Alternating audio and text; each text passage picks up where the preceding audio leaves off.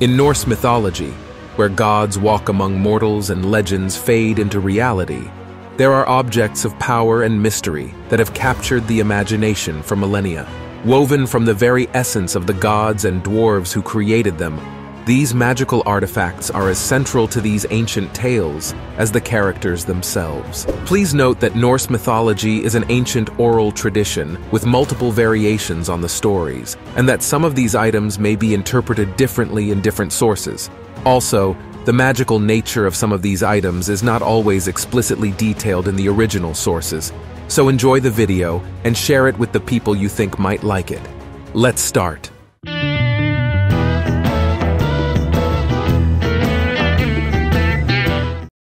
Number 1. Dainsleif.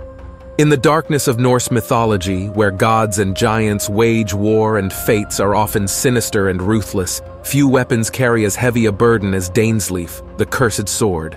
Dainsleif was forged by the dwarves, the only creatures in the Norse universe to possess the ability to create objects of such magnificence and doom. Dwarves, inhabitants of Svartalfheim, the Dark World, were known for their magical abilities and their ability to forge weapons and jewels of untold power. This sword, however, had a darker purpose and a more terrible fate. At first glance, Dainsleif might appear to be a sword like any other. But make no mistake, this weapon harbors a curse like no other. It was said that once a Dainsleif was drawn, she always had to take a life before she could be sheathed again. It was not a sword for empty threats or shows of force, if the blade was drawn, death was certain. But Dainsleif's power did not end there. Every wound inflicted by this sword was beyond healing. Every cut, every puncture, every scratch was a death sentence. This sword did not bring wounds, it brought the end of life. Dainsleif came to be possessed by King Hogni and plays a central role in the story of the conflict between him and King Hedin. In the climactic battle, Hedin pleads with Hogni to stop the fighting. However, Hogni refuses, declaring that the bloody carnage cannot be stopped, for Dainsleif had been drawn and must be sated with the blood of men. Number 2. Mjolnir, the Hammer of the Gods, a tool of creation and destruction like no other in Norse myths. This is not just any weapon, but an extension of the power of Thor, the god of thunder, and is synonymous with his own presence and fury. The story of Mjolnir is as extraordinary as that of Thor himself, it was forged by the dwarves Brokkr and Sindri, two crafting brothers whose skills were unmatched. They accepted the challenge of Loki, the god of deceit, to create gifts for the gods that would exceed those the elves had made. Sindri, using his magical furnace, produced three wondrous artifacts. The Gullinbursti gold boar, the Draupnir bracelet, and finally, Mjolnir. But creating him was not easy. Loki, in an attempt to make the brothers lose the bet, transformed into a mosquito, and bit Brokkr while he was pumping the bellows on the furnace. But Brokkr held on, and though the hammer's shaft proved shorter than intended due to Loki's interference, Mjolnir's power was unaffected. Mjolnir was a tool of divine justice, capable of destroying mountains and annihilating the enemies of the gods. But despite its destructive power, it also had a creative and protective role. Thor used Mjolnir to bless marriages, births, and paradoxically, to raise the dead. This hammer was not a mere extension of Thor's arm, but a manifestation of his power and authority. It was said that when Thor cast Mjolnir, it always returned to his hand, a ceaseless cycle of destruction and renewal. Furthermore, only those who were worthy could lift Mjolnir, a testament to the nobility and honor required to wield such power. Beyond its strength and its role in myths, Mjolnir also has symbolic importance in Norse culture. Mjolnir pendants have been found at various archaeological sites, worn as amulets for protection, and as a statement of faith in the Norse gods. And speaking of faith, I have faith in you, that you will share this video with your friends. You will give it a like, and if you have not yet subscribed, you will do it now. Let's continue. Number 3. Draupnir. Draupnir, whose name translates to the Dripping One, is a legendary gold bracelet belonging to Odin, the father of all, the supreme god in Norse mythology. But it is not a simple ornament, since it has the magical ability to multiply. Every nine nights, Draupnir produces eight gold rings of the same size and weight as the original. Thus, Draupnir is not just a jewel, but an inexhaustible source of wealth. The origin of Draupnir is as fascinating as the item itself. It was created by the talented dwarven brothers Sindri and Brokkr as part of a bet with Loki, the god of trickery and mischief, as we've seen before. Once forged, the bracelet was presented to the gods in the Hall of Asgard and Odin placed it on his arm. Since then, every nine nights, another eight rings fall from Draupnir, granting Odin infinite wealth. But the bracelet is not only a sign of wealth. He has also played a role in various sagas and epic poems. For example, after the death of his son Balder, Odin placed Draupnir on his funeral pyre, and the ring was later returned to Odin by the messenger god Hermodar. Number 4. Gullinbursti. Gullinbursti is a magical and amazing creature from Norse mythology. As we have already seen with the other two items, this divine boar was created by the talented dwarves Sindri and Brokkr as part of the bet with Loki, the dwarves, masters of the forge, created Gullinbursti from pure gold. Her radiant, glowing skin was a shimmering gold, with bristles so bright they lit up the darkest night. But Gullinbursti was not just a sight to behold. He possessed remarkable abilities. She could run through the air and over the water faster than any horse, no matter how fast her enemy was, and her perpetual light could dispel any shadow. Once created, it was presented to the gods in Asgard. Freyr, the god of sun, rain, and fertility, claimed the magnificent boar. With Gullinbursti at his side, Freyr became a formidable adversary in battle. The boar's golden glow often preceded Freyr's arrival, heralding his presence with his divine light. Number 5. Skadi's Bow Skadi is one of the most intriguing figures in Norse mythology.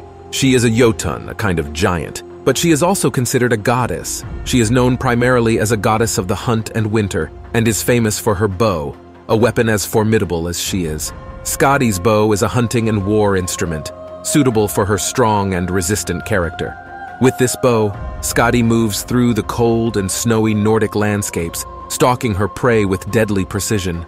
Her bow becomes an extension of her very being, each arrow her will flying toward her target. But beyond its practical function, the Skadi arch also has a symbolic dimension. As a Jotun, Skadi represents the wild and uncontrollable forces of nature, and her bow can therefore be seen as a symbol of that wild autonomy. The shot arrow cannot be returned, just as the processes of nature cannot be reversed once they have been set in motion. In the myths, Skadi is a formidable figure, known as much for her fury as for her bravery.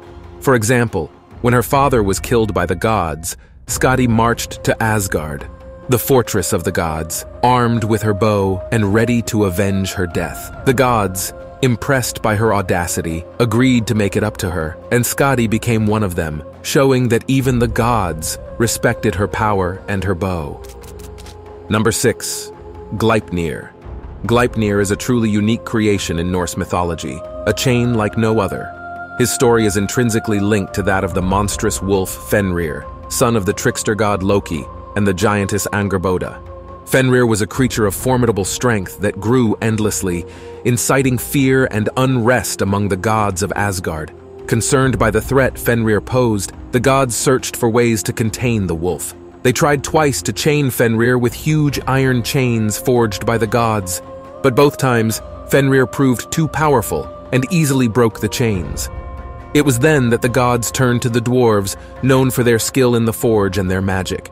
The dwarves forged Gleipnir, a chain made not of metal but of the most unlikely elements. The sound of a cat's footsteps, the beards of women, the roots of mountains, the nerves of the bear, the breath of the fish, and the bird's saliva. Gleipnir, despite being as thin and smooth as a silken ribbon, possessed unmatched strength. When the gods returned to Fenrir with Gleipnir, the wolf was wary, suspecting some trap. He only agreed to be bound if one of the gods put his hand in his mouth as a guarantee. The god Tyr, known for his courage, agreed, and when Fenrir discovered that he could not break Gleipnir, he bit off Tyr's hand. Thus, Gleipnir achieved what no other chain could, contain the ferocious force of Fenrir. It is said that Fenrir will remain bound by Gleipnir until Ragnarok, the end of the world in Norse mythology.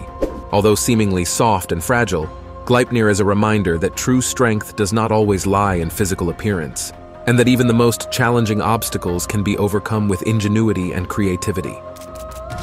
Number 7. Andvaranaut. Andvaranaut is a precious jewel imbued with legendary power. deeply rooted in Norse mythology and Germanic literature. This jewel, also known as the Ring of Andvari, is the center of stories of greed, betrayal, and misfortune. Its origin is found in the dwarf Andvari, a clever and cunning dwarf who lived in the form of a fish in the depths of a mountain river. Andvari was known for his immense wealth, but mostly for a gold ring called Andvarinaut, which was said to have the ability to produce gold. However, Andvari's life and the fate of the ring would be forever changed when the god Loki caught him in his magical fishing net. In order to save his life, Andvari had to deliver all of his treasures to Loki, including the precious Andvarinaut. However, before handing it over, Andvari cursed the ring, declaring that it would bring misfortune and death to whoever possessed it. And so, Andvarinaut passed from hand to hand, unleashing tragedy and misfortune in his path. Each possessor, drawn by its dazzling brilliance and the promise of wealth from it, met a terrible fate. From King Hreidmar, who was slain by his own children, to Sigurd, a famous hero who died in a plot of deceit and revenge, the ring was a constant source of misery. Number 8. Brisingamen. Brisingamen is a jewel without equal, recognized as the most beautiful and precious necklace of all existence. It is not simply a jewel, it is a masterpiece, an embodiment of beauty and desire. But more than that, Brisingamen is a manifestation of the powerful influence of the goddess who possessed her, Freyja.